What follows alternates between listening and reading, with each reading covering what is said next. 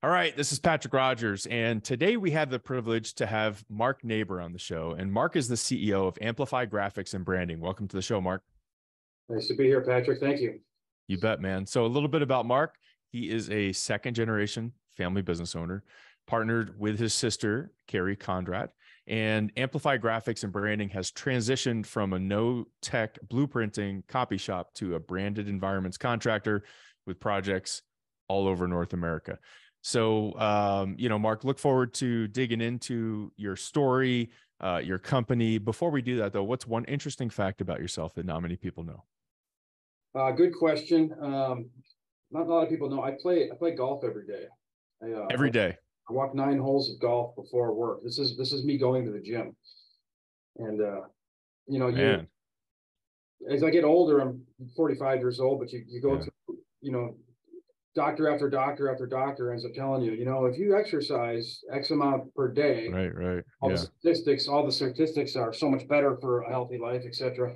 And uh, I tried to get into exercising, Patrick, and uh, I just, I just can't do. It. I can't go get on a treadmill for no purpose. You like, there's no purpose in just running on a treadmill. Or, uh, but uh, you know, I can go and try to shoot my best round of golf every day. And uh, I walk a hole. I walk nine holes, 90 minutes, carry my bag, and uh, yeah, that's uh that's my workout routine. Man, I know what you mean because it's like uh I, I'm the same way. I can't get on a treadmill. It's like such a waste of time. but if I'm going to go do like maybe like MMA fighting or or uh, kickboxing, right, and I'm learning something, uh, or I'm getting out on a golf course, man, that's that's awesome. So every day, every yeah, every day. I tried running stairs. I've tried you know all these different types of methods. Riding a bike isn't bad. I can I run our dog. Um, isn't terrible. But uh, I, you know, it's uh, a meta. It's kind of like a, you know, I have friends that snowmobile, and I just can't understand it. They're going to take a snowmobile on a trailer, drive three hours, four hours, and then yeah. get off and just ride around. There's no absolutely no purpose. And like the nice thing about golf, it keeps me motivated because every day I can have great shots, and every day I can shoot. You know, I can have birdies. I can do. I can shoot my best round. Um, and it, it, it, I get out of bed excited to do it at 5:30 in the morning, as opposed to you know, go running stairs for 30 minutes. I can't, I have no desire to get out of bed to do that, you know? So what time are you on the course by? Yeah, I usually play about 6.30. Right now it's still, uh, I'm in, I'm in Wisconsin here and it's still a little bit cold in the morning. So uh, I teed off this morning at 36 degrees at 7 a.m. That's, that's commitment, brother. That's fucking impressive. I'm telling you, man, I can't, I like getting out, I like getting out of bed. It's something it's, I'm a competitive person and, uh, and when I get into something, um, I just, I just go with it and keep, keep going and try to get better and, Very cool. Yeah, like I said, it's a it's a it's a way for me to stay motivated in, in a workout regimen. Yeah. Awesome, cool. Well, tell us uh, tell us about uh, Amplify. Yeah, so we uh, we rebranded recently uh, earlier this year. Um, West Allis Blueprint and Supply was founded in the 70s. My parents purchased the company in 96, and my sister and I purchased the company in 2019, right before the global pandemic, um, which turned out to be okay for us. But we've changed the name of the company um, about four months ago um, from West Allis Blue to Amplify Graphics Branding. And that name change came about just from, um, you know, we, we, set a defined, clear vision and mission statement um, about three years ago. And it just, mm. everything about the organization, you know, we were still West Allis Blueprint and, you know, blueprinting is down like 3% of our business today. And so we we we hemmed What does that mean? What is blueprinting? As uh, what does that mean? Yeah, great question. So, um, old school blueprint. When I started in in the '90s, um, a blueprint is what a large large document that's used for you know creating buildings. Okay yeah okay so like a blueprint okay. So all, so all we did in the 90s when i started we had no computer network um, we just made copies of, with ammonia gas developed blueprints. So we would get our driver would pick up a roll of prints this big from an architect and we would make 30 copies of that and give it back to the architect and they would ship them to all the people that were working on a project. And there was there was a service that that's that's all we did. Um, as computers came about um, the digital age you know, people are sending PDFs all over the place to make those things happen. So, you know, blueprinting as a service still exists, but it's not it's not a real strong business. And we, we knew that um, 10 years ago, which is why we launched our graphics and branding business in 2013. Mm. And so um, that's been yeah. growing. So we, we sell, we still sell large format printers to people to print their own prints. That's a big business for us. We've got like 1300 machines in the field. We're one of the largest Canon dealers in the United States.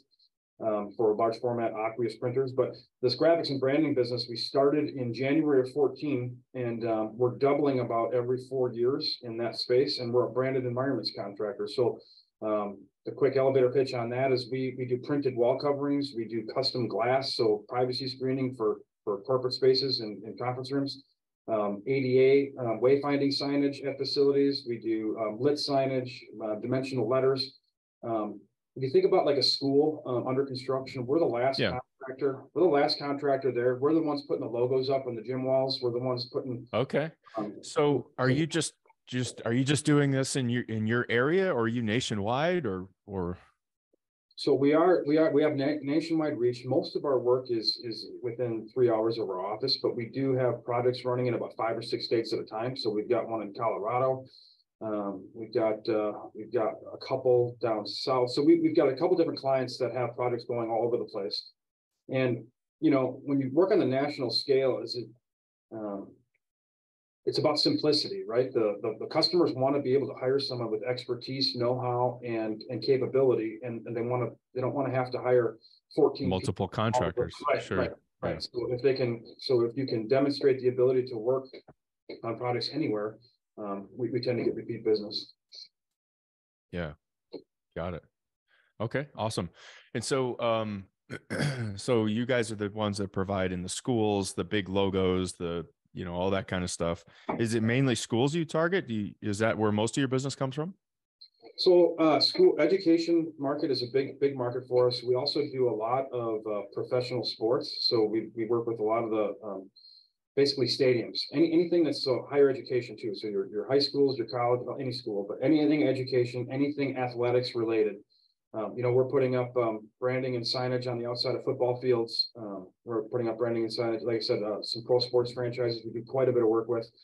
Um, you know, big, large murals on the outside of stadiums, um, permanent and temporary. So you think about a, a, Major League Baseball franchise, you know, they they change their players rather routinely, and so we put up graphics in the stadium for all the players, and we need to change that all every time a player is traded or released or called up to take down. So, um, and then there's also educate uh, healthcare market. We do quite a bit in, in the healthcare market, and then the other fourth vertical would be just your corporate environment. So, any old any old corporate headquarters is going to have uh, that wants a nice looking office, and you know we're people that want to invest in experience. That's what really mm.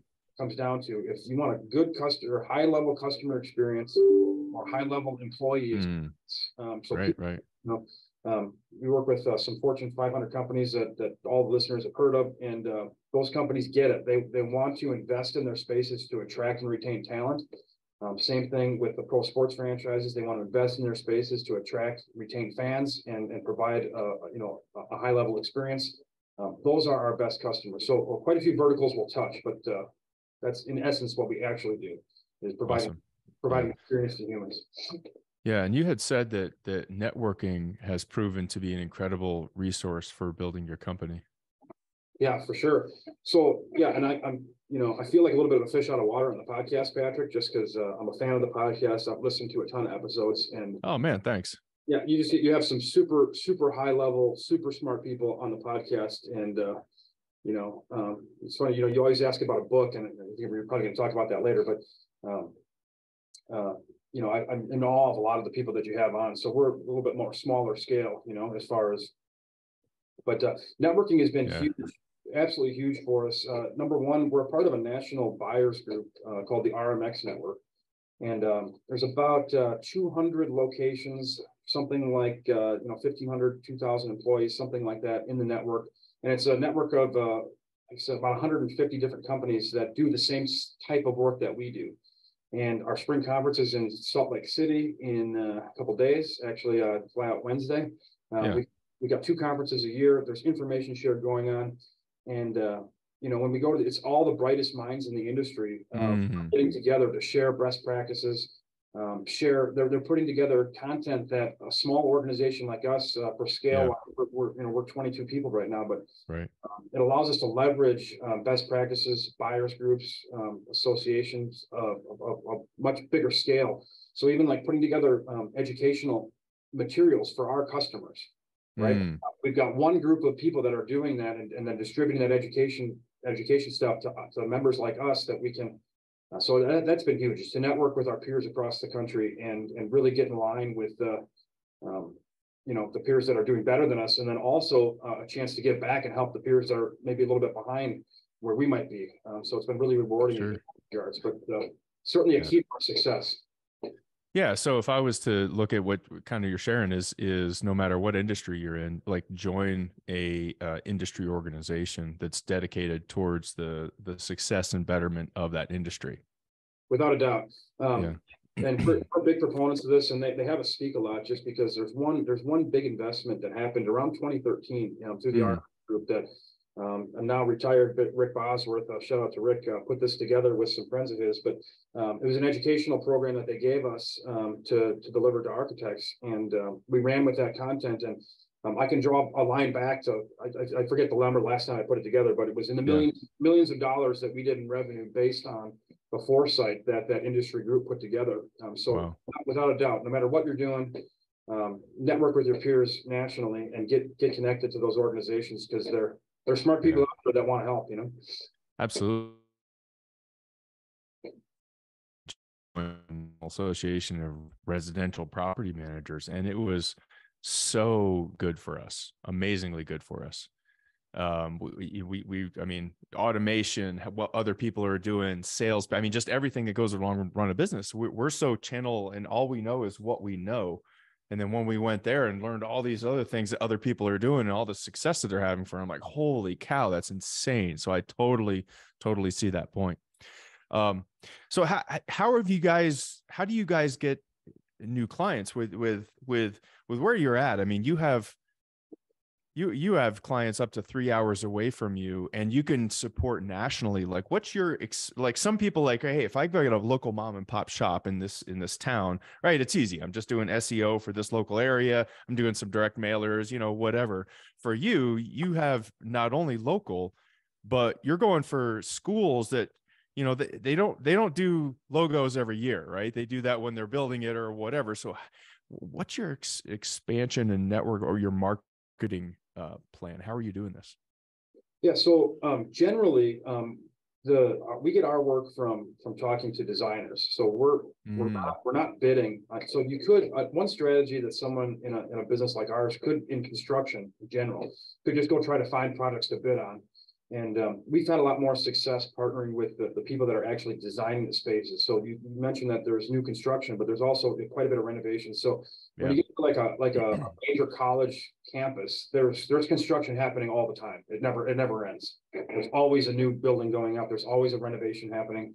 So there's always an opportunity for for construction. So we're we're heavily you know leveraged in the construction space, but um, generally you know, once uh, our, our our biggest growth is we've got a sales team that's out there um, pounding on doors, and we're trying to talk to designers and architects um, all over the place, and uh, make sure that they're familiar with who we are, what our products are, um, what our expertise is, and um, you know, another thing that helps us too is uh, we're not afraid to try things that are outside of you know outside of you know, our experience level. So um, you know, the funny thing, you know, again, our industries, I don't want to get too far into the weeds of the industry, but um, submittals are a thing in the industry that you have to create samples of everything that you're going to make. So it actually gives you a chance to uh, R&D live on a project if you have to, because you have to create small pieces of what you're actually going to produce in the field. So, yeah. but um, um, generally, um, you know, we're trying to talk to the architects and designers anywhere. And then what happens is, you know, um, there's a lot of architects that have offices in, you know, the biggest architect in Milwaukee, for example, has offices. Right, offices all over. Right, Denver, Florida. Right. So um, once you start working with one and have a, they have a good experience, and mm-hmm. we bring a lot of yeah. value to the table. We're one of the few people that are in the branding business that have our own install team. It's you know it's our guys, uh, full full employees. Um, there's a lot of uh, competitors that don't install at all. They'll use a third party service. Or interesting. Or interesting. That's a big competitive advantage for us. And that's what I was going to ask is is what is your unique value proposition, competitive advantage, and, and and sounds like that's that's one of them. For sure, yeah. There's a bunch. Number number two is uh, we have we have all state of the art equipment. We are committed to state of the art. Our oldest production uh, device is two years old, so everything oh, we wow. have state of the art, brand new. Yeah. And uh, there's a reason for it. We can do things that that no one else can do unless you have this kind of equipment. Mm yeah, I don't want to get too far into the weeds, but if you think about um, a quick anecdotal example is on glass. Um, if you have a high-end, a high-end corporate office where you've got Yeah. a, um, a big glass wall and you want to have some privacy screening. Um, we can print like Coke Red. If you wanted Coke Red, you can, you can print on a clear material and do something custom on that wall. We can print Coke Red white and Coke Red all in one pass. So Yeah. in order to have Coke Red, if you don't have the white behind it, you wouldn't have that, you wouldn't be the right color. It would be a much wash, more like a pink color, even if you tried, you know? So like our equipment can do that all in one pass. Just one quick anecdotal example of how having the latest and greatest in technology. Um, there's another new machine, um, that's just, that's just come out with white ink, but, um, also can do like spot gloss treatment. Uh, so we're using one of our partners that has that device for a product now. So a spot gloss where, think about like a, intricate floral pattern on the wall. You can have just, just that intricate floral pattern be gloss where the rest of the wall is ultra matte. Um, so like things like that where you can make things stand out, um, with the latest and greatest in print technology. So, um, also our commitment to sustainability, we've got all water-based products here. Um, as opposed to, uh, solvent, uh, solvent chemical products or, um, UV curable products that create hazards. So, um, there's lots of little things that, that kind of put us above the top, but, uh, project management, state-of-the-art equipment, installation, and, uh, and experience. You know, we've got, we've got a lot of experience with a lot of different mediums in order to pull projects off. Very cool. Thanks for thanks for sharing that. And I, I wanted to come back real quick to what you had talked about that, you know, your expansion strategy, right? Because most businesses, again, they they have um, you know, hey, we're gonna, you know, our salesmen are gonna go generally if you have sales, they're trying to call directly to, you know, your end consumer, your end buyer. And you're taking a little bit of a different route. You're you've identified that really the people that are going to refer us the business, they're really referral partners, the architects, the not the end users, the people that are in charge of the construction, and and your sales focus, your outside and inside salespeople, it sounds like, are going towards those referral partners. Correct, and it's kind of a, it's a golden goose type strategy, right? If we can find a customer, you know, customer acquisition is very difficult. If we can acquire a customer and do a great job for them, um, we can keep them and they can keep, so Sure. that's, that's, that's where we turn the coin on what you talked about, how they only build a school once, right? But Yeah, that designs the schools, designing schools all the time. All the time. That's what they do. Yeah. Right. So yeah. I- that, that's exactly the strategy is to, um, connect, connect with, connect with repeat business clients.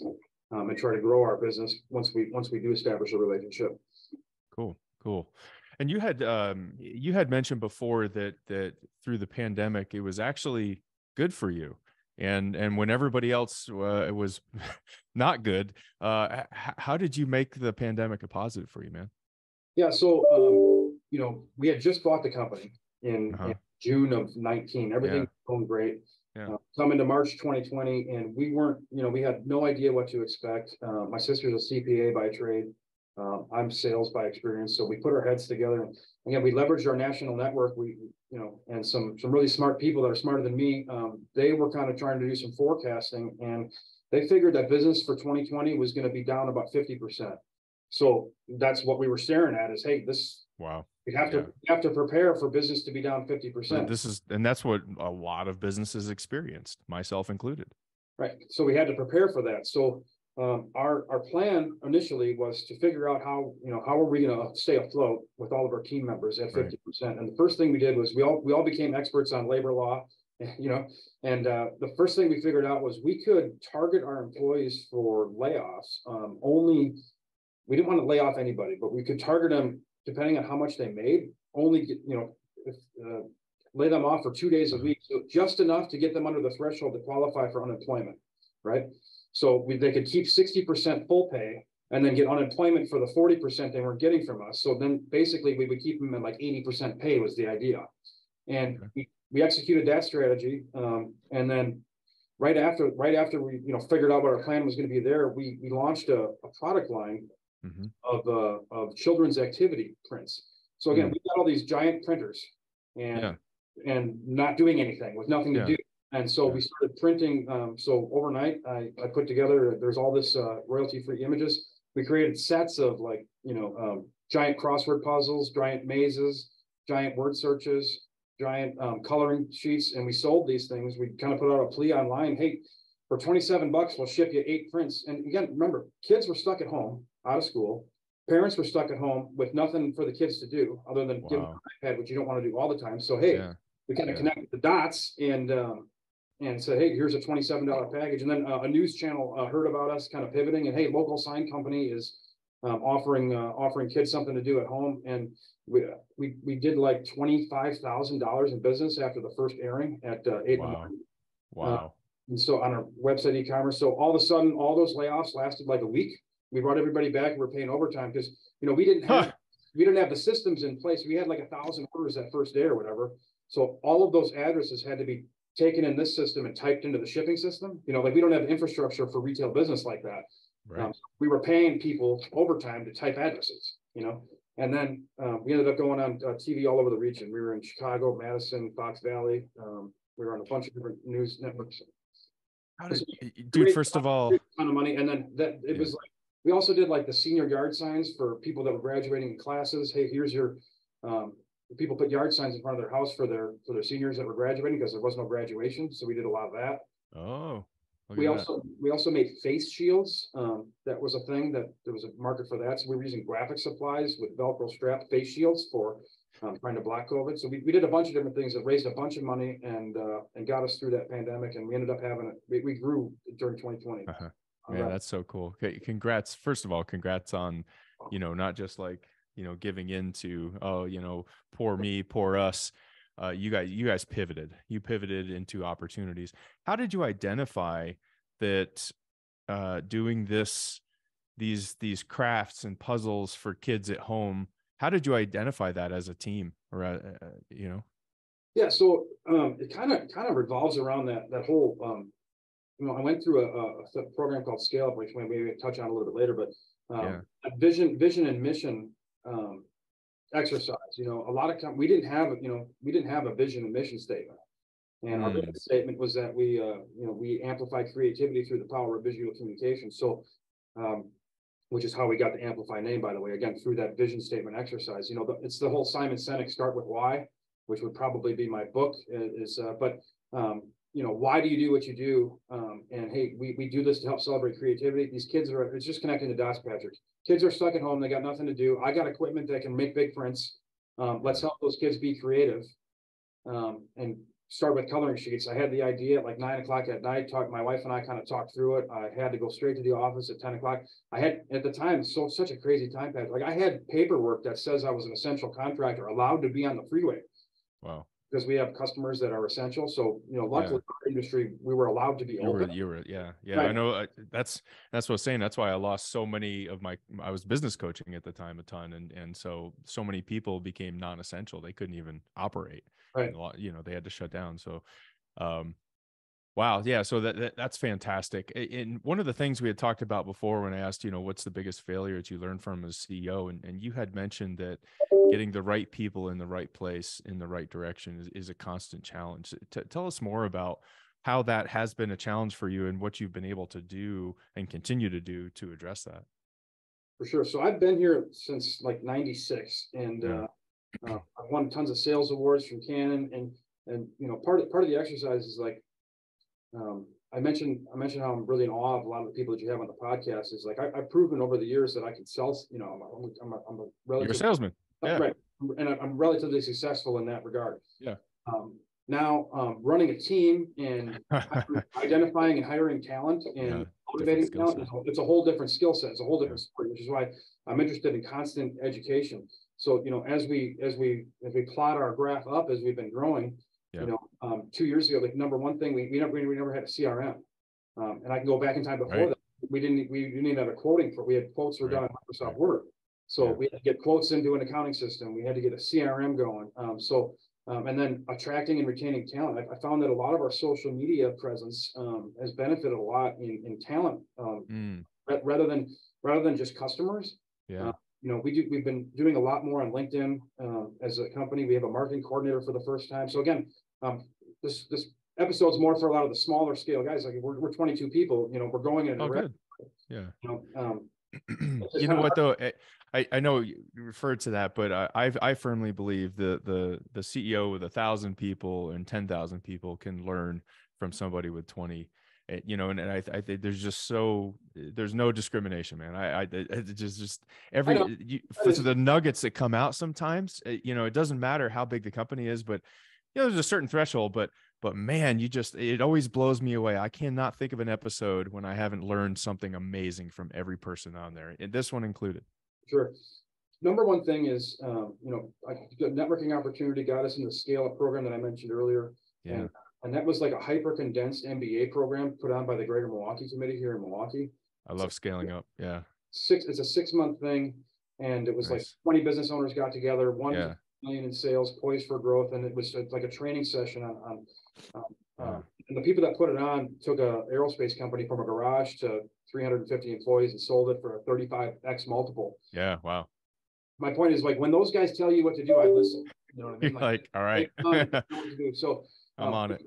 Yeah, they got us on a real clear path on first of all um, strategic planning. Uh, we we have a strategic plan that we put together every year. It's got a roadmap. You know, I need to know. Like I said, you know, if I look back in time, it looks like we came a long way. Yet I look forward, and we have so much to accomplish. You know, right now our project management and installation, like we're not time tracking. Yeah. At 22 mm-hmm. people, we don't have we don't have um, accurate time system and software for right. that. that yeah. Right. So that's that's that's something that we're going to be putting together and getting in place this year by the end of the year. And we're evaluating wow. some tools right now. We're working with our RMX network to find out what tools other people are using. Turns out there's probably not anything that anyone's using that's going great. But you know, when we ask that question to our to our membership, all of a sudden 25 other people are, hey, we, we, we don't do that either. Yeah. Right. Yeah. And so that'll allow us now, again, when we're evaluating tools, now not only are we putting together a, a tool for us, we're going to create that tool build out for us and all of our peers across the network allows, you know, some great value there. Yeah, so I mean, it's uh, I think that's a really good point too. There's a lot of, especially when you're small, right? It is you, you know you're not really thinking of things like time tracking and and you just have that person in that position and they handle that. This person over there handles that. But yet when when you have cross functional cross divisional working on a single project if you're not tracking that time you know all of a sudden you had a gross profit margin of 60% on this project or 50 and if you're not tracking that you could have one project or one client that could end up taking you know being un, unprofitable unless you have a system like this in place not only that but you can't you can't improve if you don't measure you can't improve what you don't measure bam Right. So drop the mic, hundred percent. Right. So and, and the other thing is all comes down to that the difference between scale and growth, which is what, what the scale mm. kind of taught me is, you know, for years, um, when I worked here through the nineties, like we were we were butting our heads again, you know, try to get one more client, try to get two more clients. Um, mm. and, and okay, that's that's gonna grow your business, you know, five percent. Marginally. Right. And so it's a different mindset to think about how you're going to scale your company. How are you going to grow 18% every year? And in order to do that, you need infrastructure that works. And and it's so funny because every every you know, I, heard, I forget who told me this, but you know every million dollar company wants ten million dollar company infrastructure. Every ten million dollar company wants hundred million. Yeah. And you never get there until you're Amazon. You know, so it's like, but that's that's the you know you know, right now we're creating segmented systems, and then you know, at some point, like a NetSuite product might be good, like an everything system. But yeah everything systems are expensive. So it's that constant struggle of, of infrastructure laddering. But the point is, at least you see where you're looking to improve and what you need to scale, and got to have it. If you're not going to, yeah, yeah, you're not going to measure. If you're not going to measure how much time a project is taking in project management, other than just estimate it high and hope you win. If you're not going to measure it, now you can't. You know, we're real big on smart goals for everyone on our team too. And good. If we're not, if we're not um, you can't you can't create a smart goal that's not measurable. It's in the name. It's measured. That's what M stands for is measurable. So um, our team finds that we challenge our team members, everybody here, to create smart goals for the position and how how the company can become more successful, more profitable. And if we're not measuring um, a lot of the basic stuff, it, it, makes it very difficult for them to come up with a goal. It's like, hey, I, I want to be able to to to come in under budget on projects, but if we don't, there's no way to measure it. We have to have a system to measure it. And then there's a lot of other things that we can we can bring into the like we don't have a real good um, we have a, an installation calendar and we have a project management calendar. Um, we should have one calendar with both teams using the same right. tool, right? right? That's something right. that we can integrate with this rollout too. So again, it's like that's something for this year, and then next year it'll be the the next infrastructure rollout in order to keep in order to keep building. Yeah, I mean, it sounds like you're you're investing in software automation technology. It's going to help your team collaborate, have a lot more transparency, and just just reduce a lot of the the overlap and autonomous uh, not autonomous but but emails that are maybe unnecessary uh, fantastic moves man for sure cutting on email too that's uh the only way we communicate with our customers today is through email mm. so You know, you know, build, Yeah. building, building out this portal that we're talking about is gonna allow a, a client front end. So now a client can Yeah. see the schedule of the project, see the status of the project without Yes. on it, sending emails. Yes. Right. That's something th- I, I think you raise a great point, and that's something I, I recognized early on too. That if you have siloed individuals emailing all your clients on a project from their email database instead of through a centralized software, uh, that you can go and just click on the client and see all the communication to the software, all the the status, everything right there. Because otherwise, if you have to track down an issue, good freaking luck. Or if that employee leaves, good luck. You got to go through all his emails, right? Is that kind of where you're going with it? Right, or a meeting Exactly. record, even if you recorded a meeting, a, a, a, the kickoff meeting for thirty-eight minute meeting. you Yeah. record. And Yeah. we found there was a date that was written down when a certain milestone was supposed to happen, like I wrote it down by hand, like where are all those, you know, we gotta be able to store all that stuff. So again, it's, it's the thing about growth versus scale, like we have two project managers today in our project management team. Um, we've got an open position for a third, like this works okay with one or two people. Yeah. With, if you're gonna have five or six people though, you, you, Right. need- you need a, you need a You tool. need- You you need, need a tool. and Awesome. we Yeah. see that, and so in order to get to four or five or six people, we, we gotta, let's build a tool out now, let's build it right. Get it in place, and then it'll allow us to, again, I overuse the word, but, um, scale instead of grow. That's the No, idea. yeah, total, total different mindset. So uh, I know you alluded to the book before, but I'll go ahead and ask the question. If you're going to hire a CEO to take the reins for your company, what's the one book that you would require he or she read before uh, taking over and why? Yeah, as a fan of the podcast, I knew you were gonna ask that question, and. uh, Yeah. I'm just, I'm not, I'm not, a- you know, I thought about like faking, faking an answer, but, um, I'm not a big book reader for whatever reason. yeah. I- I own a few books, um, Uh-huh. I have Traction, um, which is a popular book for business. and yeah. I have, uh, Another version. Simon Sinek. Why, But I've never, I've never sat down and read either of those from cover to cover. Right. Uh, I, like I said, I'm huge on education. I just personally am not, and uh, you know, what's funny is I, I mentioned before about how I'm in awe of, uh, all the great smart people you have on the podcast. And they all read all these books. Maybe, maybe that's an opportunity for me to, maybe that's a missing component. Hi, maybe I should read some more books. But, um, I, I get education other ways, and that's what I was talking about, is I'm big on the network. Um, we, we engage in the, um, the local chamber of commerce here in a Cool. CEO roundtable, in a sales roundtable, um, or part of the Greater Milwaukee Committee. We've got community outreach program. Um, my point is, uh, my education tools, what I've tried to do is just kind of suck up to smart people. I've got a number of mentors. Um, Cool. that's another takeaway that I think people might be interested in is, um, you know, I'm having lunch, I'm having lunch, uh, I can't remember if it's, it's this week or next. I'm having lunch with a guy that, uh, they've got about hundred and ten million dollar business that's kind of in the same space as us, a little bit of a competitor, but um, I sent him a message and say, hey, I'm a big fan, and uh, I think I could learn a lot from you. I'd be interested in, in, in going to lunch, and we've worked with them a little bit as a vendor of ours, and uh, we haven't recently, and, uh, but anyway, um, you know, if you send a message like, he was happy to, hey, love, love to talk to you, let's go to lunch, you know, and uh, I That's got, cool. I got a feeling I can learn a lot from, from this individual. And the point, the point is that when people ask me, um, yeah, happy to, um, I'm part of the mentor project through Big Picture Magazine, which is a trade publication for large format printing. And, uh, um, it's where they actually connect you, um, as a, as a CEO, they connect you with, uh, with with someone starting in the industry somewhere across the country. Yeah. And, uh, and you get together once a month and, and mentor and, and help them to grow in their career. I'm huge on that, but, uh, same idea on both sides, mentor and mentee. Um, if you, if you ask someone that, that you think has got it going on, I bet you they'd be willing to, they'd be willing to, to meet with you and talk. Very cool. Awesome. And that's what I was going to, I was going to ask, uh, get there in a minute, but the, the one takeaway that you'd really want the audience to absorb, it sounds like is, is that networking and find a mentor to help you in, in your business, somebody who's already been successful at what you've done. For sure, for Okay, sure. cool. And Cool. going through that scale up program, I know I talk about it a lot, but Yeah. know, the, the, the second meeting, we had to kind of give an update on our company and I'm sitting at a table and I'm next to a, a guy who had a little machining company called, uh, well, it doesn't matter what it's called, but. Yeah. uh, And, uh, he gave his, his company update, um, for the second meeting. So we're a month in and he's like, um, so he hired, he hired ten salespeople in the last month. And so, you know, I mentioned that we're twenty-two people. I, I'm sitting, it just puts you in a different mindset when you Right. start working and having conversations with people that are hiring ten people in a month Mm, um, hey, you know, there, there's a lot of conservative people, and I think in the print industry, when I go to the print shows, it's like, no, no one in our RMX group has ever hired ten, pe- maybe the largest scale people, maybe, you know, but most companies, and this guy, they were only thirty people at the time. He went from thirty to forty in a month. Um, and it's like, just being around people that have, have a scale mindset and see how they think and see how they operate. Mhm. And And then when I threw something to the group about, hey, I'm really thinking about maybe adding this position, and that guy is because nudging me, he's like, "You haven't done that yet. What's wrong with you?" exactly right. Like, yeah, you should have done that yesterday. Yeah. Right.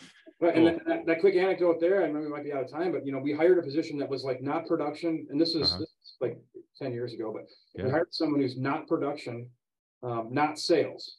It was like a like an administrative position uh-huh. we're talking yeah. about. And then, you know, we did that. And then by the end of the program, like our sales and our profitability increased. And that was like a big eye opener for me. Yeah. you know, this person didn't affect the bottom line and the fact that right. they weren't getting customers and they weren't making products or, or installing products. Like, how could our profit? It doesn't make sense, but it, it does make sense when you think about the whole picture about some, you know, so it's yeah. anecdote. Got it. Cool, man. I want to take a, just a quick minute and summarize some of my key takeaways from our time together today.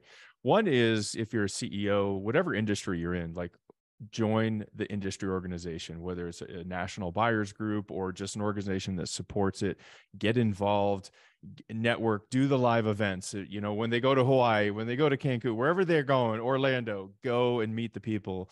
Uh, very, and, and that goes along with like CEO roundtables too, and even the scaling up programs. And I'm a huge fan of scaling up. It's what I, I use for my basis many times in, in, in clients as well um, referral partners. So you have salespeople that focus on referral partners with the clients, the end users, versus just trying to go towards the end users itself. And the last one I think was was really powerful for me was this this paradigm, this mindset difference between growth and scaling. And and scaling is putting in the infrastructure to allow the growth uh, smoother so that you're not going to pull your hair out as a CEO as you scale and, and actually have a life. And just there was a couple, there was two things out of there that really jumped out as, as kind of the premise for that was one was you can only improve what you measure. And you guys are setting smart goals with your team to do that. And also the, the importance of that, that centralized software, the client communication, these tools and automation that allows you to really, really scale versus grow. Right. So those are my key takeaways. Um, so, so Mark, eh, eh, fantastic to have you. If any of our listeners want to reach out uh, to to to use Amplify uh, for for themselves, or uh, any questions on the podcast, uh, how could they do that? Yeah, uh, Amplify Graphics and Branding. It's uh, amplifyken.com is the website. Um, I'm I'm a big fan of LinkedIn. Um, I've been using LinkedIn a lot more. I have a sales awesome. consultant who's been yelling at me for not using LinkedIn enough for years. I finally uh, started using Good it point. here in 2023. And it's like I said, I've got multiple candidates that want to work for us just from posting projects on LinkedIn. So it's, uh, uh, but you can find me on LinkedIn. It's uh, Mark Naber, uh, N A B E R at Amplify. And uh, happy to connect with anyone interested. Awesome. And we'll have Mark's um, LinkedIn profile uh, handle on the podcast page as well. So, uh, Mark, fantastic having you. Uh, thanks again for coming on the show, man. Yeah, huge fan of the podcast. Thanks for having me. That means a lot. Thanks a lot. Uh, for the for the listeners out there, please hit the like and subscribe button and help us spread the word about what we're doing here. We're helping the next generation of leaders and CEOs be that much more successful. With that, we'll see you on the next episode.